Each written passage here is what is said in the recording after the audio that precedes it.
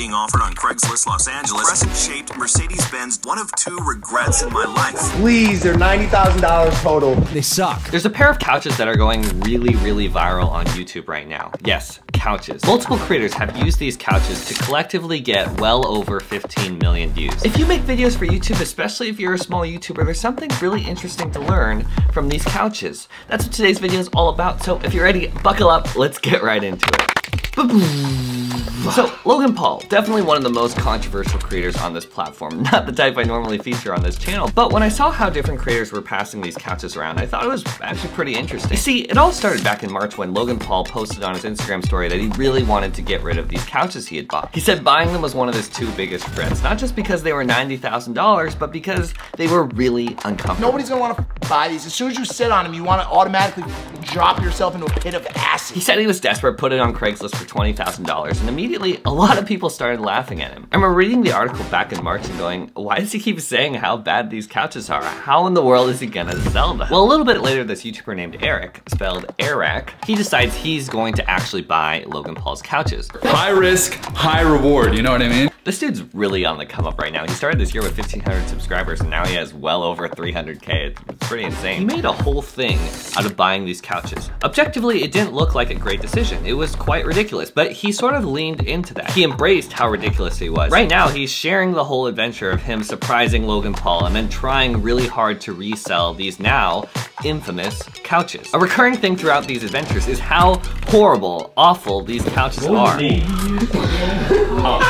I would rather sit on a piece of dog shit than that. That's kind of the art though, right? It pushes back instead yeah, of... it's like, you know, kind of rejects you, so you want more. No one wants them, but that's sort of what's fun, funny about these episodes. How is Eric gonna get rid of these couches? And how are all of these creators who now have the couches going to use them for more content? Oh. Wait, is this supposed to tilt back or no? We're a little desensitized to this because we're so used to big creators doing this, but I want to stop and take a moment for all the small YouTubers to notice how these content creators are using the couches. These couches suck. They're undeniably uncomfortable, a waste of money. Logan Paul genuinely regrets buying them, considers them one of the worst decisions of his life. But he and all the other creators involved in these viral couches embraced that, actually made that weakness, that mistake, make a character in their content. This not only made the content feel more real, authentic, but it also actually made it way more interesting. How are these creators going to work with these couches, navigate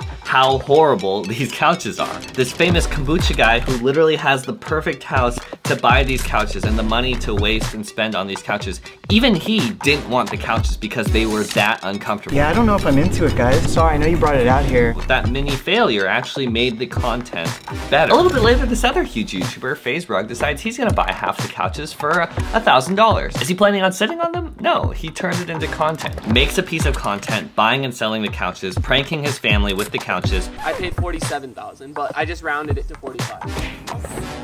I'm just kidding, I got them for a thousand. And then surprising Logan Paul that now he has the couches. A thousand dollars.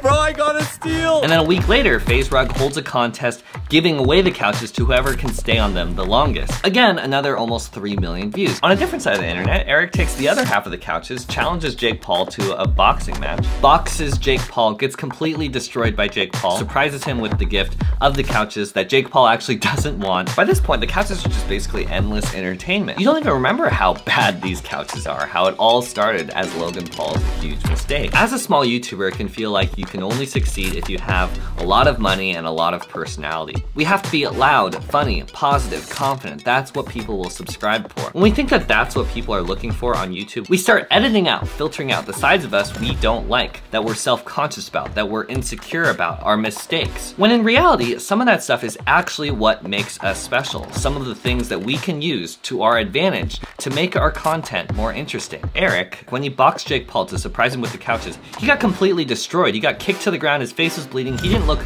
strong at all. But that weakness, he embraced it, he made it just part of his adventure, and it actually made the content way more fun and interesting. Today's my uh, 25th birthday. In Logan's birthday video, he said how much he hates his birthday because he's had such horrible, painful experiences with his birthday being on April 1st. Severe, sev- and I'm even getting it now, like anxiety and PTSD, just because like of how fucked my birthdays have been, and I also just don't like the pressure put on gifts. This year, on his 25th birthday, Logan Paul's best friend gives him a very disappointing birthday gift. Logan's friend's been hyping him up on the gift, excited to give him the gift. Bro, Mike is off. You might cry. Like these are like the kind of gifts that are gonna make you like well up a little bit on your butt. And I'm gonna be honest with you, bro.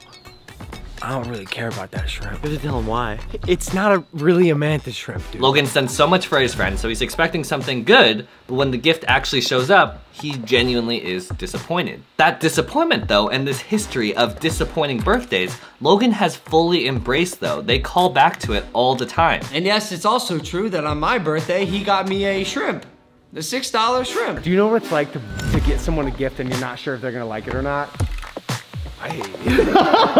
That bad experience got flipped around to become a really funny, interesting, memorable character in their content. If you're having trouble talking to the camera, being confident, being funny, you feel like you don't look right, you feel like you don't have the right experience. What if there was a way to flip that around, embrace it, where it becomes one of the best parts of your content? What if you were able to reframe a bad thing, a scary thing, into something authentic, interesting, funny on your YouTube channel, something you actually become known for? So many of your favorite creators, they're super weird. Their quirks, their mistakes, their weakness is actually probably your favorite thing about them. You being an introvert or having a stutter, maybe looking a little different. What if you made that awesome? What would that look like? Becoming known for something bad or embarrassing doesn't need to be bad or embarrassing. It's all about how you see it, the story you tell. The top creators all understand this. They turn everything into content. They know with the right perspective, the right story, bad birthdays, bad knockdowns, bad couches can all become the best content ever. What are your couches? What would that be for you? If you think deep down only the loudest, craziest, funniest, most attractive creators can succeed on this platform, you're gonna notice a lot of that. I remember two years ago, I almost didn't start my YouTube channel because I thought, I'm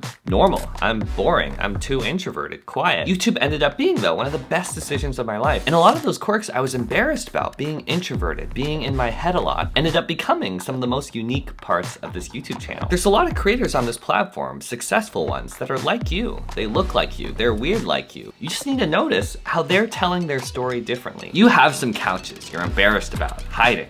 What if you change that?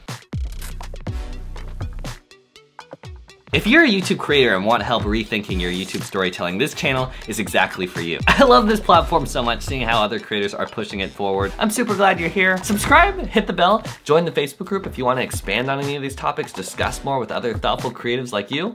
You are the change maker of your own life. Let's think more deeply. I'll see you guys in the next one. Peace, peace. Bye.